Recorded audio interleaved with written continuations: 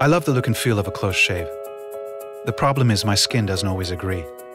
It's sensitive, so shaving often leaves it feeling uncomfortable, red, and irritated. So not the look I'm going for.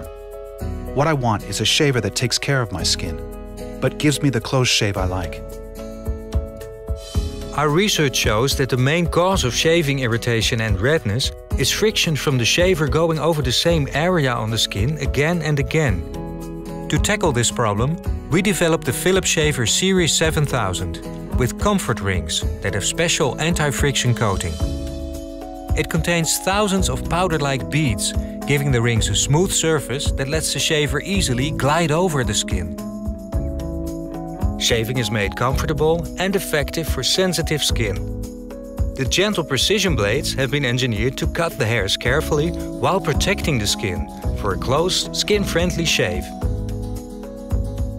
The head can flex in five different directions, following the curves of the face for added comfort. With the Philips Shaver Series 7000, I can shave dry or wet with gel or foam, so much more comfortably.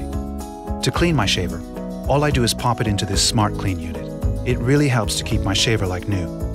I can use it for my full facial routine too, to style, trim, and cleanse my skin.